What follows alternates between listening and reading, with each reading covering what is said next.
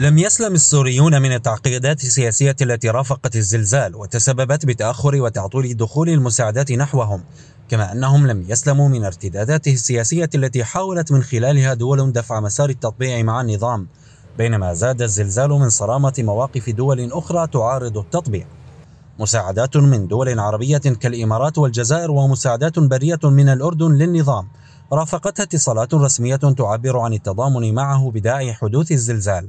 الزلزال الذي أصاب مناطق المعارضة السورية بشكل رئيس بينما توالت الدعوات لزيارة بشار إلى عمان والإمارات.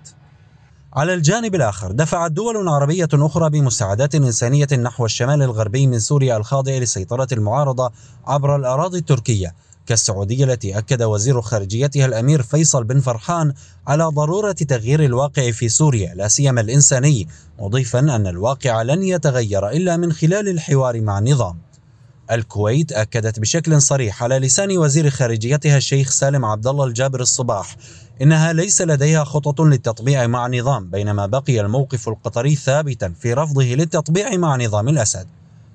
الانقسام في قرار التطبيع مع النظام والذي عززه الزلزال لم يكن خاصا بالدول العربية بل امتد ليشمل الموقف الأوروبي الذي ظهر فيه تيار يدعو لقبول النظام كأمر واقع مع إمكانية إحداث اتصالات فردية بين الدول الأوروبية التي تتبنى رؤية التطبيع مع النظام فيما بقي الموقف الأوروبي العام رافضا للتطبيع حتى اللحظة.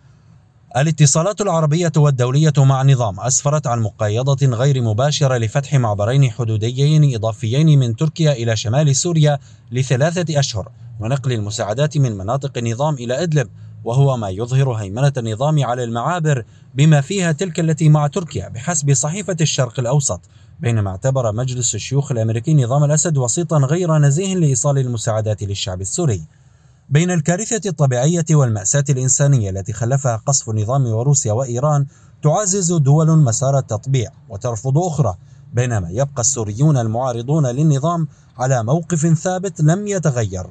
يرفض النظام ووجود بشار على رأس السلطة.